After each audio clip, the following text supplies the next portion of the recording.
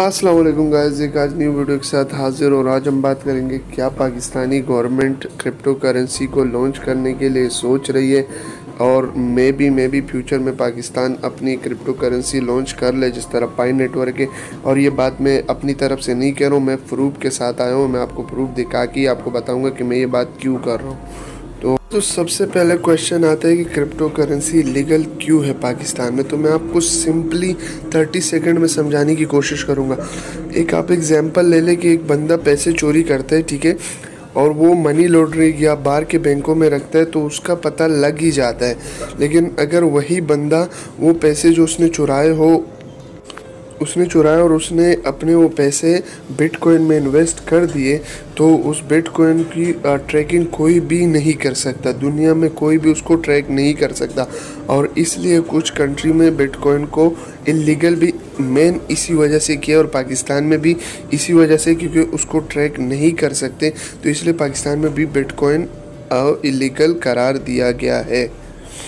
Bitcoin ban के लिए आ, सबसे पहले जो आवाज़ उठाए और जो अभी तक उठा रहे वकार है। वकार सके ने कहा है कि मैं पाकिस्तानी कौम का कर्ज़ा उतार सकता हूँ अगर मुझे वो बिटकॉइन अलाउ कर दे लीगल कर दे तो पाकिस्तान से इसका कर्ज़ा भी उतर जाता है और पाकिस्तान का बच्चा बच्चा इससे पैसे कमा सकता है तो इस बात पे चीख रहे हैं। कुछ वकार जगह की वीडियोज़ है जो मैं आपके, आपको प्ले कराऊँगा कि वो क्या कह रहे हैं कि उसने कितनी कोशिश की और कहाँ पे रुकावट आ रही तो आपने एंड तक वीडियो देखने एक सेकंड भी स्किप नहीं कर कर सकता अल्लाह ने तौफीक अता फरमाई है। पाकिस्तान में बढ़ने की क्या ज़रूरत है? पाकिस्तान में लीगल कराने के लिए लड़ने की क्या ज़रूरत है?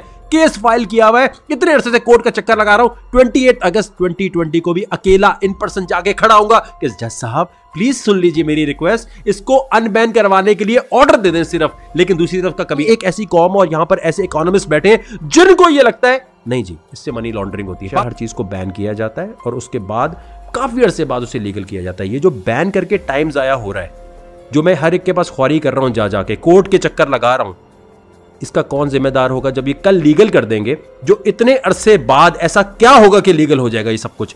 ये मनी लॉन्ड्रिंग अगर इससे होती है तो ये बाकी पूरी दुनिया ने क्यों लीगल बैंक को लगता है कि कंट्रोल निकल जाएगा हमारे हाथ से और पाकिस्तान का आम बच्चा भी पैसे कमा रहा होगा, लेकिन ये नहीं सोच रहे कि आपका काम सिर्फ़ मॉनिटरिंग करना है, कि कोई गलत पैसे से गलत चीज़ ना खरीद रहा हो, ना कमा रहा हो। लेकिन आप लोगों में है आई होप अब मेरी बात और जो वकार जगह की मैंने आपको वीडियो चलाई तो आपको समझ आ चुकी होगी। अच्छा अब हम आते अपने मेन बात पे जो मैंने आपको स्टार्ट में कही थी कि क्या पाकिस्तान अपनी क्रिप्टो करेंसी के बारे में सोच रहे और फ्यूचर में लॉन्च करेगा। तो इसके मुतालिक मैं एक अखबार में न्यूज़ पढ़ रहा था, वो अखबार की वो मैं आपके साथ शेयर कर लेता हूँ। आप खुद भी पढ़ सकते हो कि उसमें क्या कह रहे हैं।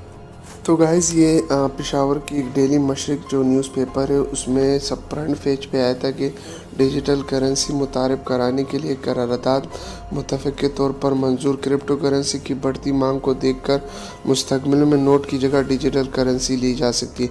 तो इस पर ये मेरी पूरी वीडियो थी। मे भी मे भी कुछ महीने में या कुछ साल में आपको पाकिस्तान की अपनी क्रिप्टो करेंसी मुतारफ़ करा दी जाए। अब आपके दिमाग में एक बात आ रही कि ये तो लीगल नहीं है पाकिस्तान में तो हम इसको पाकिस्तान में अभी बाई कर सकते हैं, यानी तो ठहरे मैं आपको बताता हूँ, जी, आप बाई कर सकते हो तो वेबसाइट एक पायर है और एक बिनान से जो एक फ़ेमस वेबसाइट ये दोनों है इससे आप इजीली बाई कर सकते हो और ट्रेड कर सकते हो बिटकॉइन की पाकिस्तान में भी, इस हालत में भी।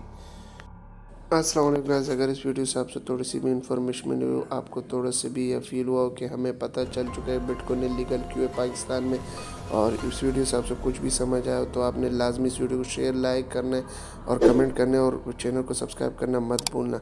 तो चलो मिलते हैं नेक्स्ट वीडियो में, तब तक के लिए मुझे इजाज़त दे।